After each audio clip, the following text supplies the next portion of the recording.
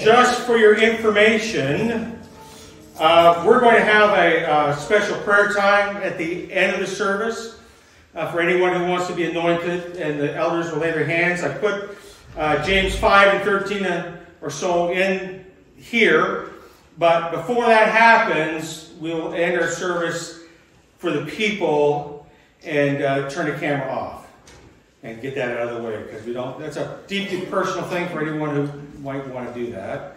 And today we're coming to a place where we're going to uh, talk about the second part of our comfort zone. And uh, we'll call it the edge of the comfort zone or moving beyond that. And uh, we have some different images we're going to show you a little later on. And uh, we'll have a nice uh, prayer time as well. And uh, for those who might know Barb Winters, uh, she's paralyzed from the, her whole left side's paralyzed. I was in to see her a couple days ago at the regional hospital, and uh, but they have scheduled her for rehab because they think she might get a lot of that back. And but she's still looking at three, maybe four months in, in the regional hospital. She had a stroke. She had a stroke at four, four o'clock in the morning. She lied on the floor for six hours. Uh, she normally leaves her front door open, but she locked it, and uh, she always opens her curtains in the morning. And so her daughter was driving by and saw the curtains weren't open. So she went in there, and eventually they broke in a window to get her. And uh, she still has a lot of rug burn because she's trying to crawl around with one side to get to a phone or to get to something. But she's, you know, she's got, seems to have a fairly good attitude right now. She can talk and not much drooping on the one side. That's in fairly good shape, but she says there's nothing. There's no, nothing. And uh, another lady lives next to Pearl Dina in Blacks, uh, is uh, in the hospital as well. Georgina Gadet. She's 95, but she has pneumonia. And I went in to see her and uh, see if she had, they were all in there, and I said, Can I come in? And they said, Who are you? I said, Well, I'm a Protestant minister. And I'd like to come in. But I know you're Catholics.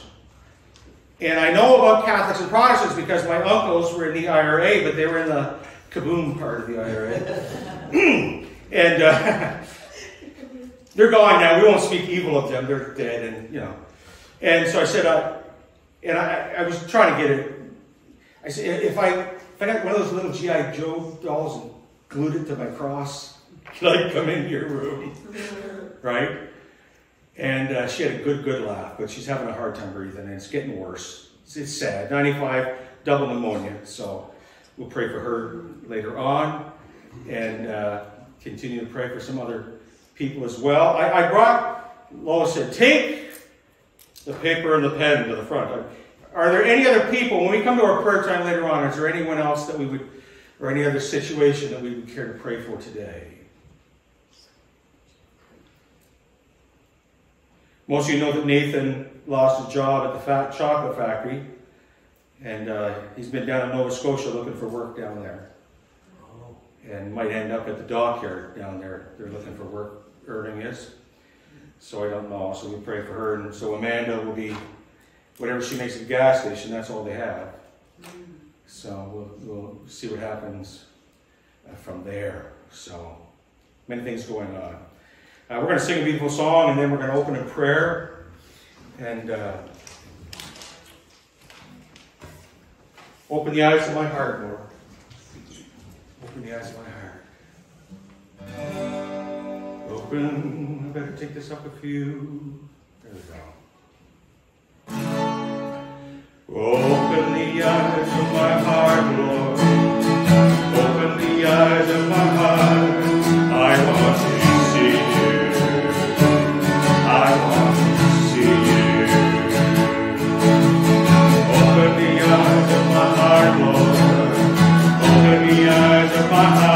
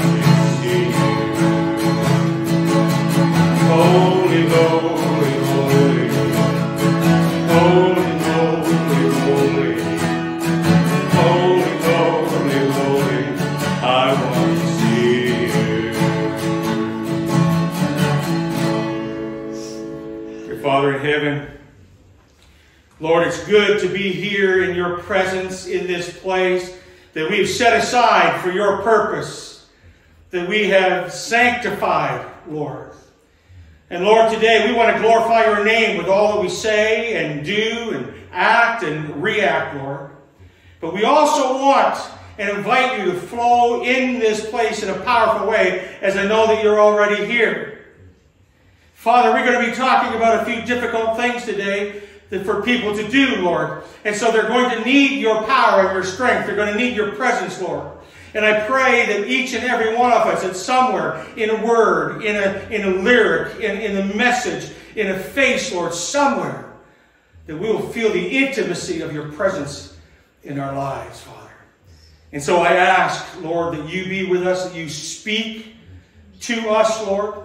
And then when it comes time for me to preach, Lord, I would ask a blessing upon your messenger, that people would not hear my words or my illustrations, but Holy Spirit, they would hear you and sense you, that they would leave here with a power and a strengthening and a reassurance and a renewal, Lord. And we'll praise you and thank you in the powerful name of Yeshua, Jesus. Amen. Amen. Amen. I love this song, Lord. I lift your name on high. Lord, I lift your name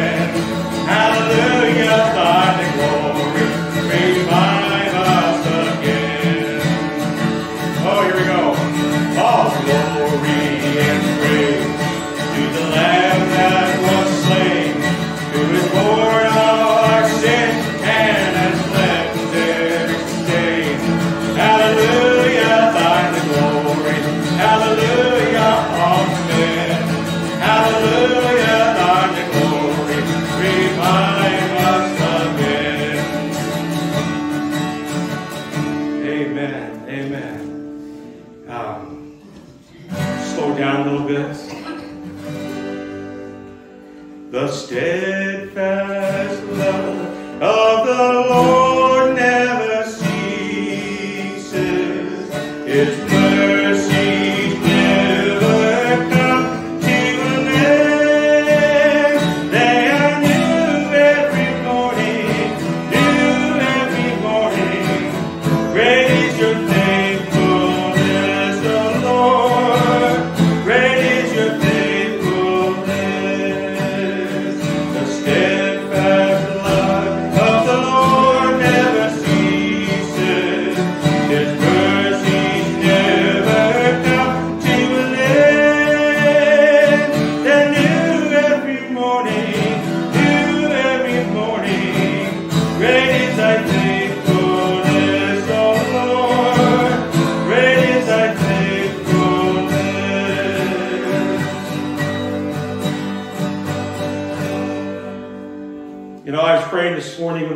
I was here. About uh, six o'clock or so, and uh, thank you, Brian. The heat was on, which was very nice. And uh, I was praying for all of you and uh, different situations in our lives. And um, sometimes when we when we go to prayer, we think that our prayers are not good enough. We think that our prayers are not eloquent enough, that we don't use flowery enough language. And I would tell you that, you know, you can say, Hi, Lord, I'm here, speak to me, amen. You're good to go. Because prayer is simply a conversation with God. And He wants to hear the good things and the bad things. He wants to hear the big things and the small things. Um, but He wants you to know that you are loved, right? That you are needed, that He cares for you. And so, as we head towards our time of prayer, I want to sing a beautiful song called You Say. You Say.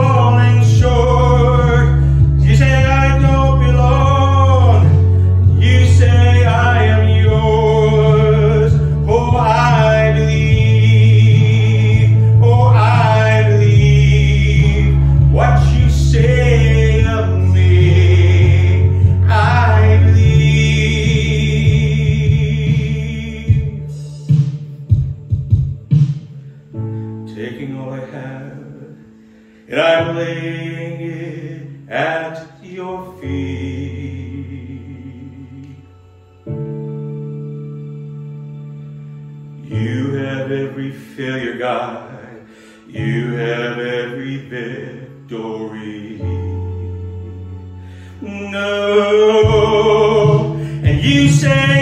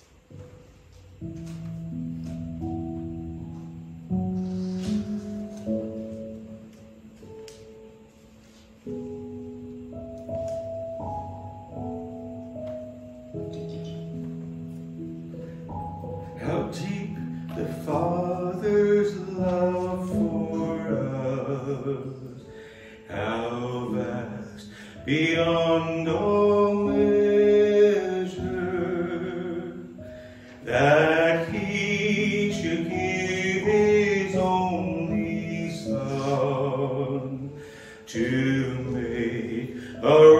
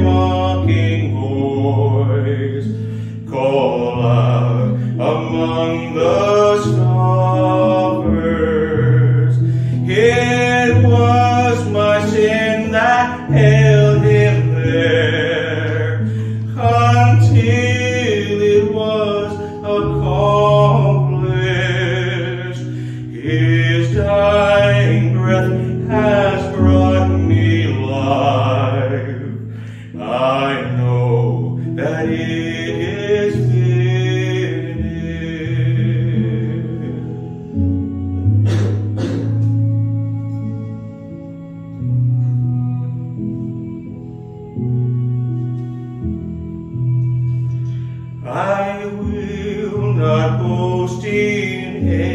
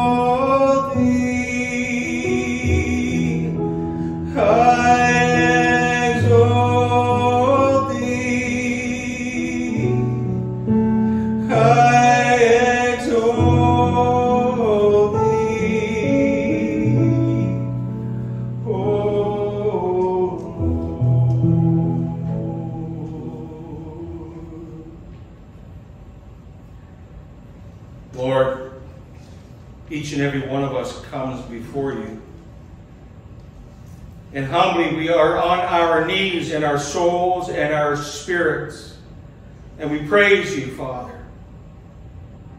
We praise because you are a God of everything that we see and hear and smell and taste and touch and experience. It's, you created all of this us.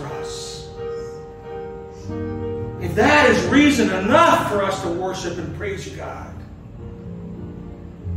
I know that there are people here and people elsewhere and people at home watching this that may be hurting somehow whether it's financially or emotionally or mentally or, or spiritually or in their relations, Lord. And you know exactly where to pour that, that balm, where to pour that ointment, where to pour your love, where to pour your healing into their lives, Lord. And we pray and ask, Father, that you do just that.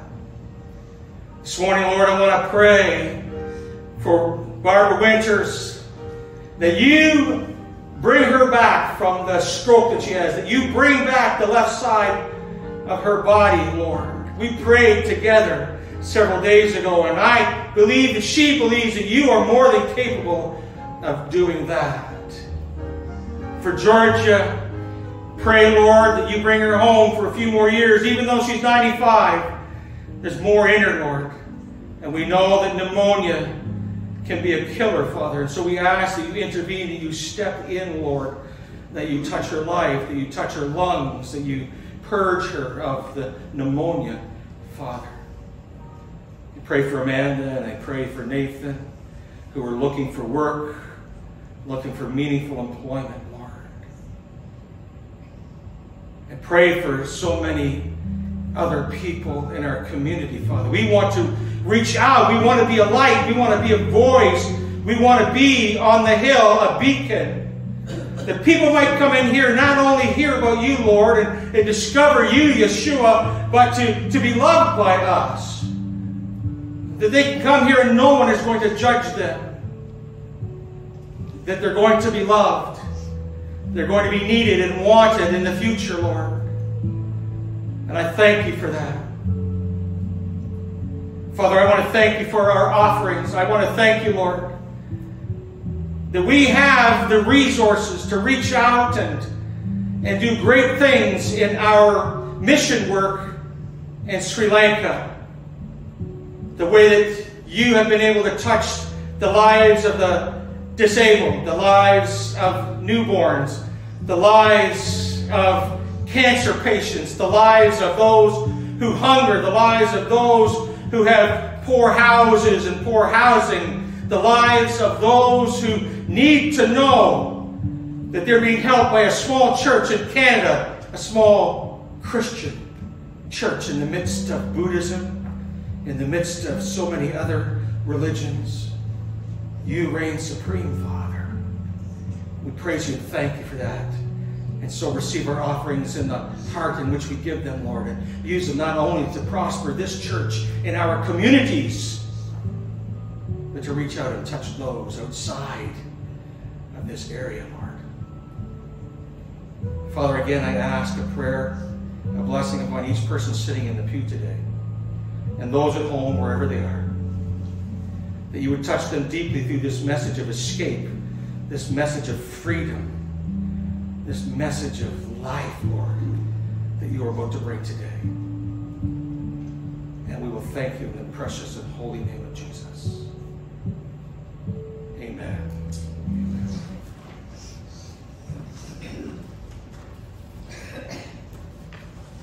Lois is going to show you a picture of an old destroyer. And, uh, yeah, she's old. In uh, 1975, I found myself in the South Pacific on this thing. Can't believe it's been that long. And uh, one of the things I wanted to do Navy was to dive and be a ship's diver, a rescue diver, and all those other things, which I eventually did. But in our training to be a diver, one of the things we had to do was uh, overcome uncomfortableness. One of the things we had to do was on the bottom, 50 feet down, there was a rope that went a mile and a half. And we had to go down at night and we had to pull along that thing with our mask blacked out so we couldn't see anything and keep going until we ran out of air, then ditched our tanks and tried to find our way to the surface. We'd jump off of things in the night and in the day. On the bow of the ship, you'll see a couple people up there. Now, this was uh, alongside and uh, was getting ready to be decommissioned at that time. And uh, and so it was about 10 feet higher in the water. It was a long way, about 40 feet to the water. And we had to put our gear on, and then we had to go up to the pointy end, up to the bow for you non-nautical people. And we had to climb over the guardrail, and we had to take two steps, and we had to plunge 40 feet to the water, hopefully, and you have to be very careful, um, especially young men, because if you carry your flippers with you when you go into the water or put them on when you're in the water. If you put them on before you go in the water, they end up up here somewhere. it's very uncomfortable. So you don't do that. And so there's some things we need. You can show this list here, I think. The one is that you have to stand inside of the rail. You stand inside the rail, so you're standing inside your comfort zone. Then you have to climb all over the guardrail, right? So when you get to the edge of your comfort zone, you're going to have to step outside. Oh, your back can still be against the rail. You might be hanging on to the rail if you want, but you have to step outside. And then three, you need to gather up your courage to make that jump. You see, because you can't see the water below you. See, the round down goes like this. So when you're walking out, you can't see where you're going to fall. The fourth thing is, because of that, it's slippery. They made ships like that eh, during the Cold War, which I sailed a great deal of, chasing submarines and such, uh, so that if there was a nuclear fallout, it would just flow off. There were sprinklers everywhere. If you took a step and you weren't assured of that, you were going to go in head first, back first, you could break your back, break your neck, you could really harm yourself. You had to be very sure before you made the, take, the first step. And then you stepped out. Now, by the time you could see the water below you, you were committed. You're going down. You can't stop. It's done. It's like an airplane, 1976, San Diego, before I met Lois. Parachuting outside of the city. In a round chute, they take you up in a plane. And they say, get out on the strut and hold on. You get on the strut and you hold on. And they say, when we give you the command to let go, you let go. And down you go. And so you climb out there and you hold on. They say, let go. You don't let go. let go. You don't let go. You close your eyes, you squint your eyes, you don't want to see anything. And you thought, okay, maybe once. No, no, I'm not ready. Not ready yet. and the plane's up there. Once you're committed, you're committed. You're going down to the water. It's a long way to the water, it's exhilarating. And when you get back to the surface, you see how far you jumped and you want to jump again. And uh, we're going to use this experience I had many years ago to talk about reaching our comfort zone and going beyond our comfort zone. 2 Timothy 1 and 7, Lois will have it up here for you. For God has not given us a spirit of timidity, but of what? Of power and of love and of discipline. And I think we need to say this together down below. Let's, let's do that together. For God has not given me a spirit of I can't hear a thing. I was saying it. Were you saying it? Were they saying it? Yeah. Were you saying it softly? Why were you saying it softly? Because we're soft people. No, you need to declare this. Declare it. It's a truth. Let's declare it together. For God has not given me a spirit of timidity, but of power and of love and of discipline. Good for you. We're going to look at the seven steps to getting outside of our comfort zone. So I want to show the ship again. And, uh, and I want you in your mind's eye uh, to see yourself standing on the bow just inside the guardrail, up, up right near the, the nose of the, the ship itself. Everything inside the guardrail is your comfort zone, your place of safety, your place of familiarity, your place of control. Most people love living inside their control zone. Most people have a, a, a, that kind of, of comfort zone, even if they would admit it or not. The guardrail there for me in that day represented the edge of my comfort zone because as long as I was on that side of the guardrail, I was safe. I could go to the hatch, go down below, I could disappear, get off the boat. And so when I stood up and bellied up to that guardrail, I was at the edge of my comfort zone. In your comfort zone, you might feel the same thing. And you might say to me, literally, I would literally die if I were to do that. Literally die if I had to step outside my comfort zone for some reason. And so let's talk about death just for a second to find out where we stand. Genesis 2 and 7 reads this way Then the Lord God formed man of the dust from the ground and breathed into his nostrils the breath of life, and man became a living being. Now, I'm writing slowly a, a Bible study uh, in the book of Revelation and in Genesis, the book ends of the Bible.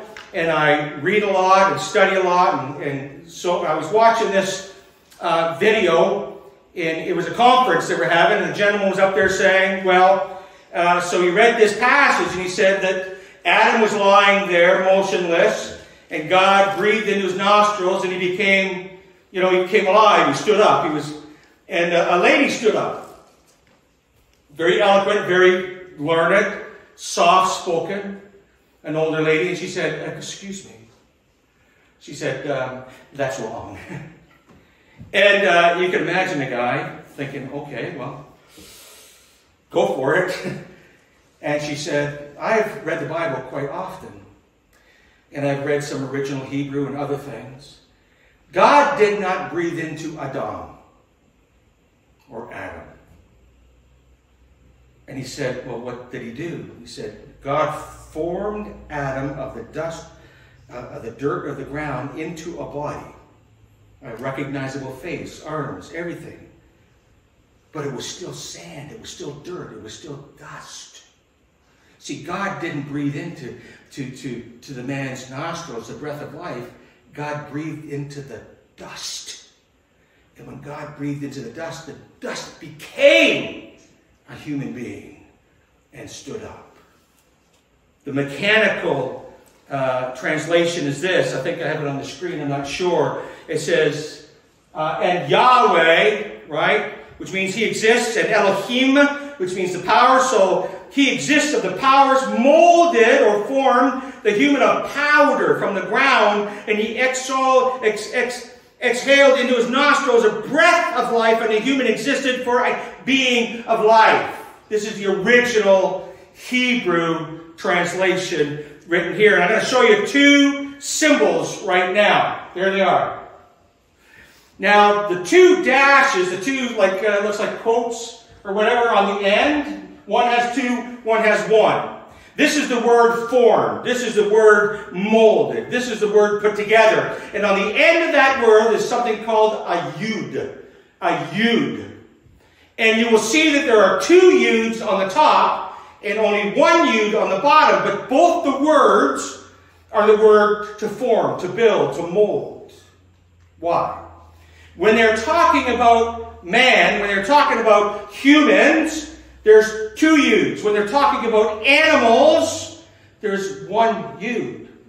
And the reason is for this. They say one yud in this word for a human being represents who they are in this world, and one represents who they are in the world to come. And sadly for you who think that Fido's going to be in heaven with yud, there's only one you on the bottom, and so when they made, I'm sorry, Debbie, I'm crushing her.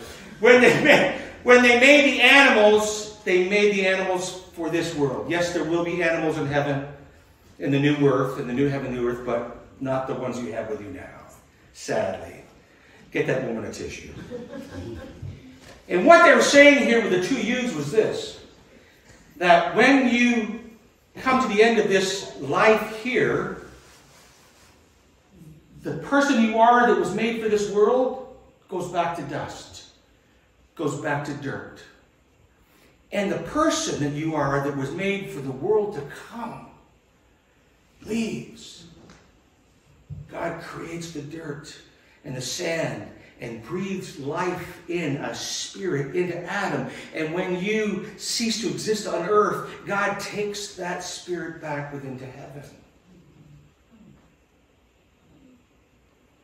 If you have said with your mouth that Jesus is Lord and believe in your heart that God has sent his Son to live, to die, took your sins to the cross, took them to the grave, left them there, and rose victorious at the right hand of the Father, you will never die. That's just a word we use here. Your body will go back, that first you, your body will go back to the dust. But you, your essence, yourself, your spirit, your everything that you are will go to heaven. Paul says, when this earthly tent is cast aside, you'll have a new body not made by earthly hands, but by heavenly hands, and that's what is going to happen. And so if you believe that and you've declared that, you will never die. You will never die. You're already living forever. We're just going to do it in different places. And so, when you climb over the guardrail, are you going to die when you step out of your comfort zone? No. No, you won't. No, you won't. Ephesians 3 and 16 says this that he would grant you according to the riches of his glory to be strengthened with power and through the Spirit and through the inner man. And these are the words that Paul prayed for many years ago for regenerated spirit. He prayed for your inner person. He prayed for the new self that you took on when you gave your life to the Lord. And he prays that that new one has life. Now we know that we have the new nature and the old nature, and the old nature is fighting against the new. That's where Paul gets all confused. Oh, I do what I don't want to do, and I don't want to do what I want to do, and why do I do this when I don't want to? He goes on and on, and he's confused about all that. Well, what he's saying is the new you that God has given you is he prays, Paul prays even now, 2,000 years later, that that inner part of you would be strengthened to do the things that you wanted to do. I want to put up what the average person's anxiety is focused on. It's up here on the front.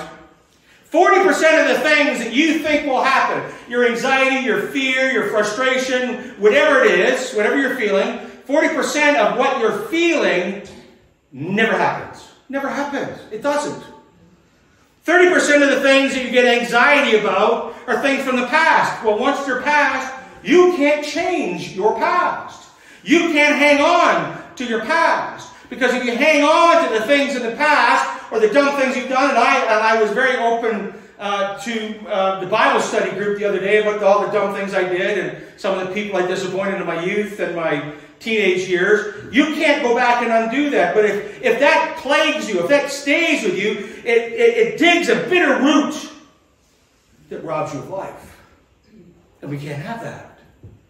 12% of the things that you have anxiety about are criticisms by other people. Who? Do you really care what other people think of you?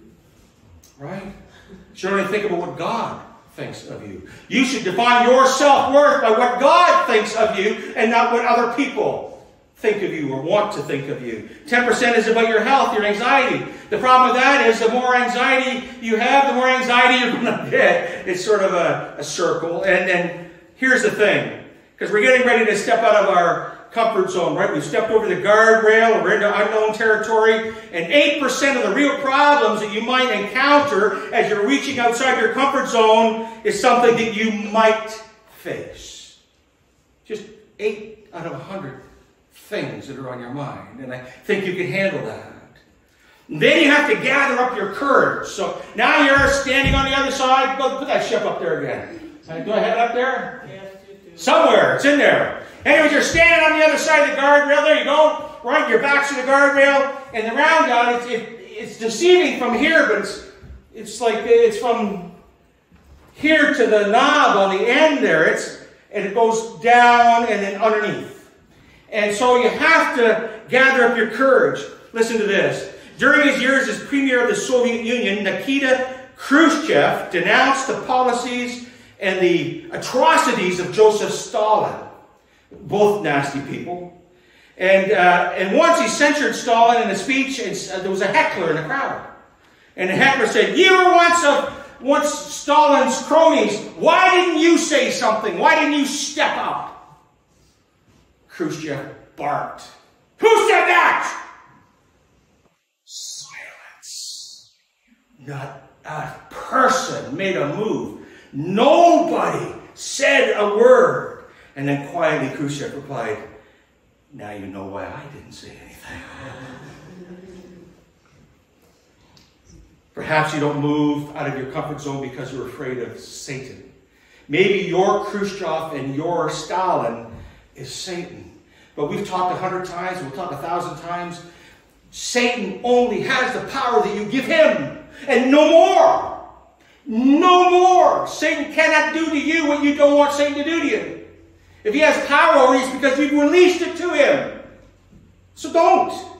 That's pretty simple. Don't. Be courageous. And now you're on the, the round down here. It's, uh, it's kind of scary. See, uh, what you do when you're in this uncharted territory outside of your comfort zone is you're going to have to do things and be with people and act in different ways that perhaps you haven't done before.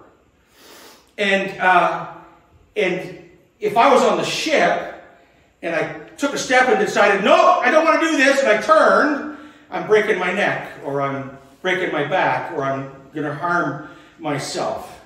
Or if I managed to grab the guardrail and hang in there, then I would never in my life, there'd be people now that I sailed with 40 years ago that'd be saying, Remember that time? You're dangling off the side of the ship because you didn't want to fall. And you think, no one remembers all that stuff, do you? Uh, when I retired, Lois and I had to get, I didn't want to do it, but you have to go and do all the, get your certificates and all this other, and they gave Lois a certificate from, who was it, Trudeau or somebody, or I don't know, not this Trudeau, maybe the last one, or something. anyway, it doesn't matter. But uh, then they read letters, and they, they, they brought this letter up of a garbage can. And um, I, I know, I know, I know. So there came a day when I was a young sailor that the, the food wasn't very well, and we were out working, and we, because I was a technician, we got down to the, the food line, and it was only, the pizza was just this, this hard film of oil on top of the pizza, but that was it. They put this clink, clink, clink on my plate, and I said, "Where's the rest of the food? That's it. If you don't like it, you know." And which I, in before I was a Christian, I reached across and pulled him off the steam line to, to warm up his nether regions because he didn't give me food. And someone tapped on my shoulder and said, "Put him down." So I put him down. And they said, "You got to go complain to the officer upstairs, the supply officer." So I went up and, and he wasn't there and I got mad and I took the piece of thing and I threw it in the garbage can. And I'm just turning to leave. This guy was not very smart, was he? I was just turning to leave and he comes and he says, You can have anything you want. You can have steak. You can have chicken. You can have well, all this other stuff that we never ever had. And uh, I said, No, all we get is this stuff. It's in the garbage can. He's looking and he said, I don't see anything in there. I said, I, I picked him up. I said, let me help you see it. So I picked him up, I turned this fly off, officer upside down in the garbage can. And, uh, yeah, I, that was so long ago. I was a whole different person. But it's come back to haunt me a couple times. I might even meet this young man one day. He won't be a young man anymore. When you step out, you have to commit. You committed. Oh, I committed. He was upside down. He's up to his waist in the pail. He wasn't happy. You know how it is. Anyway, I digress. So, but what I'm saying is that you have to commit. If you don't commit, it's going to cause pain for you, it's going to cause pain for other people, and if you embarrass yourself, that embarrassment is going to be with you for many, many, many years to come. And so don't do that. Once you build up your courage, step out smartly. As uh, when we did our army type of training stuff, someone said, um, if, if you turn the troops to the right instead of the left and there's a cliff on the right, you better march them smartly right off the cliff. And, uh, and so take that step. By the time you see the water, you're committed. I want you to listen to some of these quotes. I think I put them up on the screen here for you. Did I? The comfort zone is nothing else but a graveyard for your dreams and ideas. Anonymous. By leaving your comfort zone behind and taking a leap of faith into something new, you find out who you're truly capable of becoming. Again, Anonymous. If it doesn't challenge you, it doesn't change you. Again, Anonymous. And this from Mark Burnett. I think he does the, the Survivor show and some other stuff. The producer. He says, I'll guarantee you that the day you step outside of your comfort zone by making success your goal is the day you discover that adversity, risk, and daring will make your life sweeter than it's ever been before. The Gospel of Matthew, chapter 14 and 28. Peter said to him, Lord, if it's you, command me to come out on the water. And he said, Come. And Peter got out of the boat and walked in the water and came forward to Jesus. But seeing the wind, he became frightened and began sinking. And he cried out, Lord, save me! Immediately Jesus stretched out his hand and took hold of him and said to him, You of little faith, why did you doubt? When they got into the boat, the wind stopped, and those who were in the boat worshipped him, saying, Certainly you are God's Son. When you step off the side, you have made a commitment. You've made a commitment. It's a long way to the water, but it's exhilarating. I've told you before, uh, four of us went to, I've been to Africa a bunch of times, bunch, a bunch. And uh, one of my first times there, I was the junior pastor. There was four of us, but I had a beard. And I'm a second career pastor because I was in the Navy, so I was older and I had a beard. And because I was older and because I had a beard, the, the local natives thought that I was El Jefe. I was the big one, right? I was a, they would have taken you. I would take you with me next time because, right? You could share. Anyway, so so we were celebrating because we were helping them with uh, cooperative agriculture and aquaculture so they could live above subsistence farming so they could get together and buy and sell a few things. And they were celebrating because it had been successful. And they made this pig, roast, hog, whatever it is, And uh, they gutted it, which was nice, but they basically stuck a stick up its butt on its mouth and hung it on a fire. And uh, yeah, I built it like this. And uh, so then they rotated it all. day. They didn't skin it or anything. And I was first in line. So here I am back here. I'm on the inside of the guardrail. I'm in my comfort zone. There's people over there that got spears and fancy grass thingies and war paint and and they say, You gotta go first. You're gonna be fed first. You're the honored one. And uh, I step over the rail and I'm thinking, please, mommy, please. And I, I step out towards this woman who had maybe three teeth. She was quite old, worn out of it, uh, small, but she had this very sharp machete. and she looks at me and she smiles and she goes, hack, hack. She whacks it twice and pulls this wedge by the burnt hair and skin, pulls this wedge of meat out of this hog and goes like this. And now I'm at the point, right? I'm on the round down. I'm getting ready to jump. I'm getting ready to leave my comfort zone completely. If I had pulled back, I would have insulted her. I'd have insulted all the rest of the people. And I didn't want to insult people that had sharp spears. That can't be a good thing. And I didn't want to look badly on our group. And so I, I, I stepped in, I took this thing, and they're all waiting with bated breath for me to take a, a, a breath. And I, you know, please, Lord, I took a little nibble off the end of that, and it, it didn't kill me. And then everyone smiled, and I could back away, and other people got in the lineup. And uh, uh, did I want to eat that hunk of meat? no. Uh, did I want that experience, something like that again? Yes, I wanted more experiences. I was nervous on the one side of the ship, and I was nervous on one side of that village. And I heart was racing, my blood was pumping as I prepared to jump off the boat with all my gear on off the ship. And my heart was pumping as I was going to step towards this lady with the big machete with the guards and spears there, right? And uh, um, it was exhilarating in the end. It was wonderful. And no one saw me give it to all the kids that were in behind me. and I think they even ate the hair. Would I do it again? Yes. Did I do something like that again? Yes. Yes. Um, Joshua 1 and 9. Have I not commanded you be strong and courageous? Do not tremble or be dismayed, for the Lord your God is with you wherever you go. Author Steve Maraboli said this, his picture here. Cemeteries are full of unfulfilled dreams, if you can find it. There he is.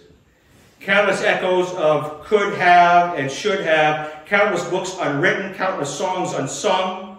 I want to live my life, he said, in such a way that when my body is laid to rest, it will be a well-needed rest from a life well lived, a song well sung, a book well written, opportunities well explored, and a love well expressed. Jesus got out, or Peter got out of the boat. Once he left the boat, he was committed, just like me, plunging towards the water. He was either going to sink or he was going to swim. And he got nervous and started to sink. But what was waiting for him? The arms of Jesus, outstretched to save him. And I will tell you this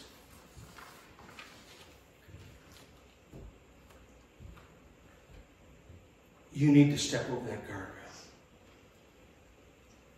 And you need to gather up the courage that God has already given to you. And you need to take a couple quick steps off the side, even though you can't see below you, and plunge to the water.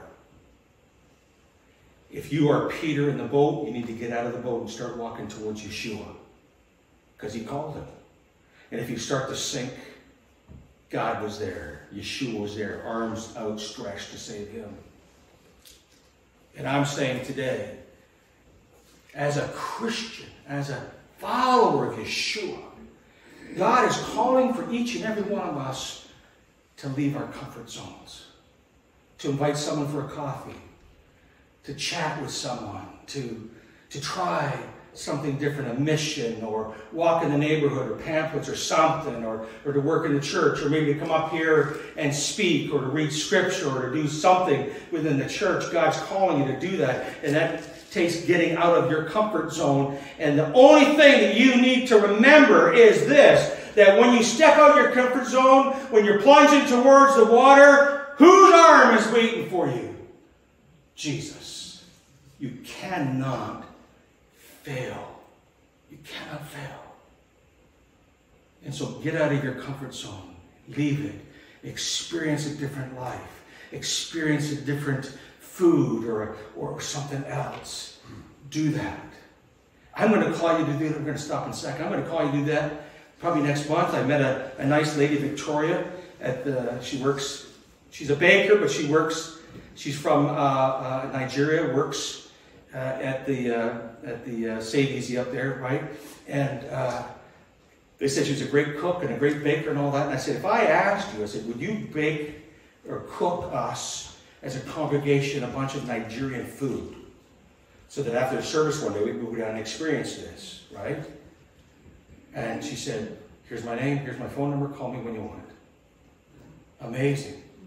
And so sometime in the near future, I'm going to stand up and I'm, or I'm going to tell you the week before, and I'm going to say, guess what? We're all eating Nigerian today. And you might think, ah, she makes jollof rice. So if you eat anything, eat the jollof rice. I loved it when I was over there. Every, every country has their own kind. That's a safe rice, right? Um, but I will ask you to get out of your comfort zone and try. Lois used to do that with the kids in Sunday school. Once a month, they did a different country, and they had toys from the country and games from the country, and we'd make home food from that country, and each of those kids had to eat something from that country to experience it, whether they wanted to or not. Not a lot, but they had to try. You can't say I don't like it unless you stick it in your mouth, right? Yeah. I'm going to pray in a second, I'm, and I'm going to end the service for those who are at home, who are listening at home, uh, because we're going to have a moment now where you can come forward and be prayed for. I put it in your in your bulletin here. Uh, is anyone among you suffering? Then he must pray. Is anyone cheerful?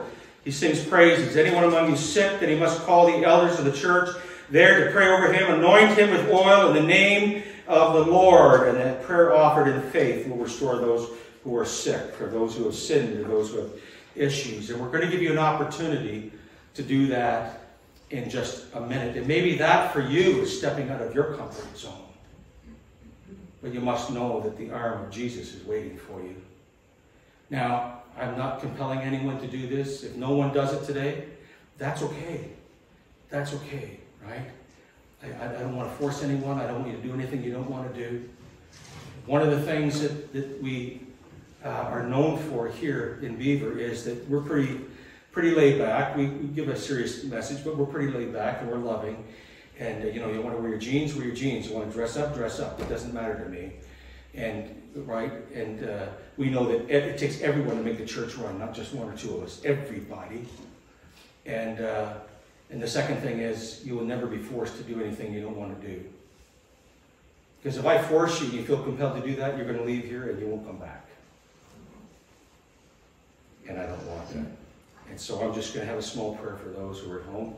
Thank you, Father, for this message. Thank you for our time together, Lord. Help each and every one of us to climb out of our comfort zone, Lord, uh, to reach, to stretch, to live, to write, to, to sing, to explore, to travel, uh, to do whatever, Father. Help us uh, to make that plunge like me that day so many years ago Step out in blind faith, not seeing where you're going, and step off and let Jesus take us there. And we'll thank you in Jesus' precious name. Amen.